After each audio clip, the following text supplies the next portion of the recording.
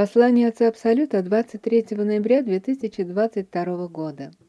Перетягивание каната свободной воли. Здравствуйте, дорогие мои любимые дети. Сегодня я хочу продолжить разговор о законе свободной воли, который сейчас приобретает особенно важное значение.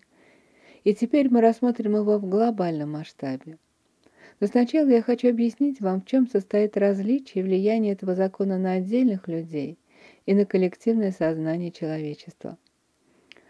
Как уже не раз говорилось в моих посланиях, каждый человек вносит свой вклад, позитивный либо негативный, в коллективное сознание человечества. И в огромной степени это касается соблюдения законов Вселенной. Но ни один из этих законов не влияет на качество состояния коллективного сознания человечества так сильно, как закон свободной воли.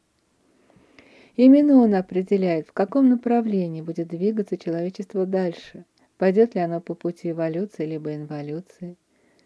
То, что происходит сейчас на Земле, можно сравнить с перетягиванием каната, причем не только в количественном, но и в качественном соотношении – и сейчас я объясню, что это означает.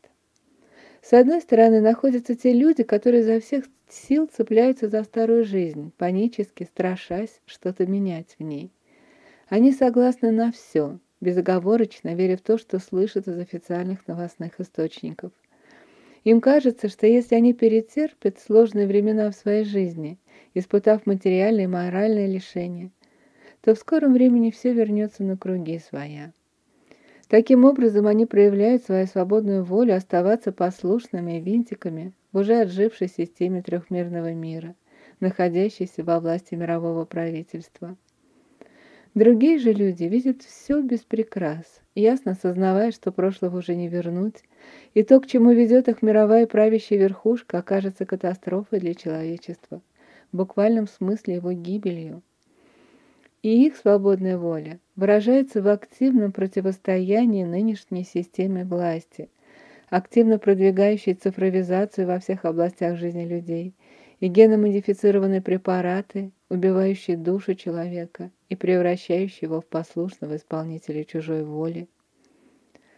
Поэтому можно без преувеличения сказать, что выражение свободной воли той или иной категории людей является отражением борьбы сил света и тьмы, все переплелось на вашей планете, дойдя до высшей точки кипения не только в политической, финансовой, социальной сферах, но также в сознании и душе каждого человека.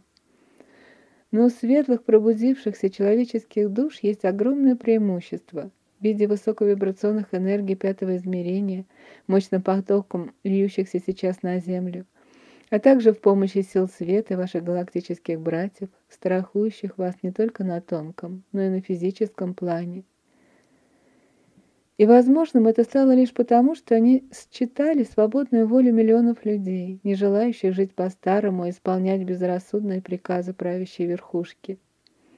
Силы же тьмы, стоящие на страже глубинного государства, уже задыхаются в новых энергиях и не способны, как раньше, оказывать поддержку своим некогда могущественным подопечным и тем, кто решил последовать за ними. Таким образом, в перетягивании каната свободной воли, проявленной жителями Земли, неизбежно победят те, кто оказался на стороне света. Осталось сделать лишь небольшое усилие, и этот канат будет разорван надвое, унося в третье измерение одних и в новый высоковибрационный мир других.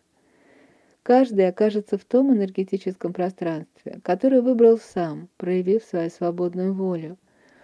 И теперь эта разделительная линия пройдет и в коллективном сознании человечества. Одна его часть пойдет по пути эволюции, а другая – инволюции. И изменить это не в силах никто, поскольку законы Вселенной остаются вечными и неизменными. На этом мы остановимся сегодня.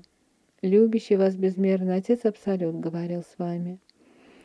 Послание приняла и начитала Марта. Сайт Возрождения.